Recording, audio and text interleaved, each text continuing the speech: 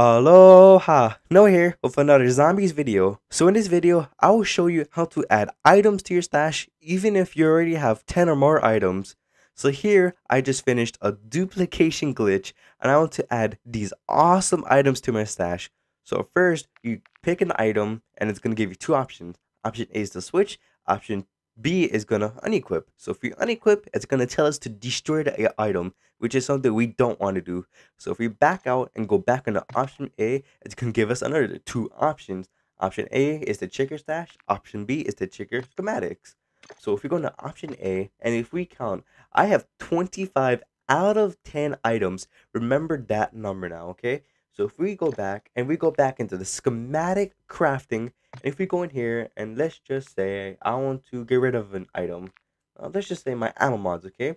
So if we go into here and I let's just say want to get rid of my cryo freeze, and if I just craft right here, it's gonna switch out my ray gun, my ray gun weapon case, and if we go back into the here, and if we go back into the stash, it forces the ray gun weapon case to go to back into the stash because it has nowhere else to go. And with that being said, you guys can have an infinite numbers, infinite amount of items and weapon cases, right?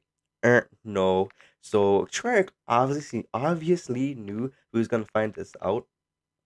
So they put a limit. And I'm pretty sure the limit is 19 because I already counted. I have 9 flawless and 9 legendary aether tools and one right here, one tombstone. So if you add all of that together, that is 19 items.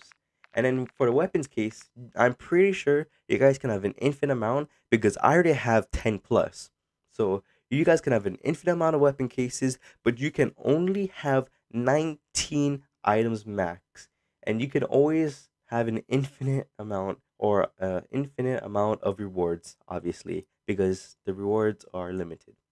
But anyways, that is how you guys increase your guys' stash. So thank you for watching, and I'll see you guys in the next video. Aloha. No out.